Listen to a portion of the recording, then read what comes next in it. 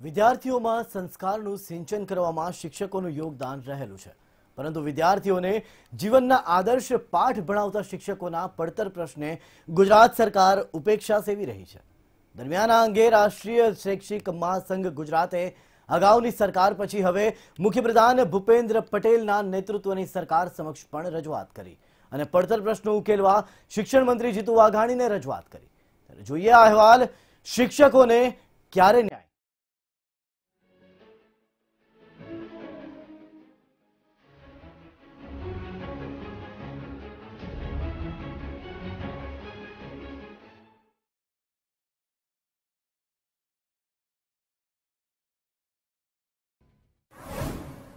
ગુજરાતમાં શિક્ષકોના પડતર પ્રશ્નો અંગે રજૂઆત.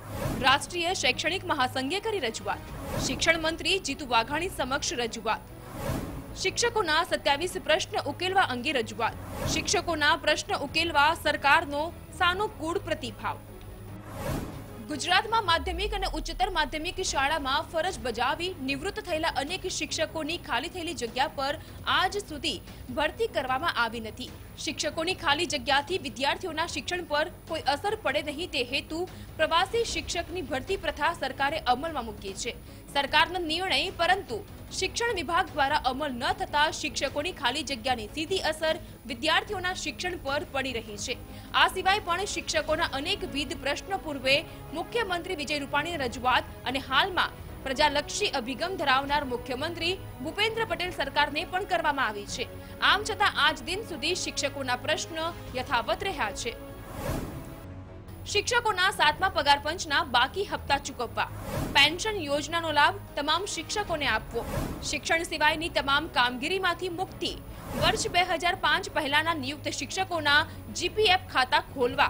ગ્રાન્ટેડ શાળાના નિયુક્ત આચાર્યને ઇજાફો આપવો. વિદ્યાર્થીઓના હિતમાં અભ્યાસક્રમ ઘટાડવો. ગુજરાતના શિક્ષણ પ્રધાન જીતુ વાઘાણી સમક્ષ રજૂ કરાયેલા આ પ્રશ્નો તાકીદે ઉકેલવા રાષ્ટ્રીય શૈક્ષિક મહાસંઘે માંગ કરી છે. સરકારે હકારાત્મક પ્રતિભાવ તો આપ્યો છે, પરંતુ શિક્ષકો અને વિદ્યાર્થીઓના હિતમાં પડતર પ્રશ્નો ક્યારે ઉકેલાશે તે પ્રશ્ને શિક્ષકો હજુ પણ અસમંજસભરી સ્થિતિમાં છે. શિક્ષકોના હિતમાં સરકાર ક્યારે નિર્ણય લેશે તેના પર સૌ કોઈની નજર છે. Bureau report, Mantavya news.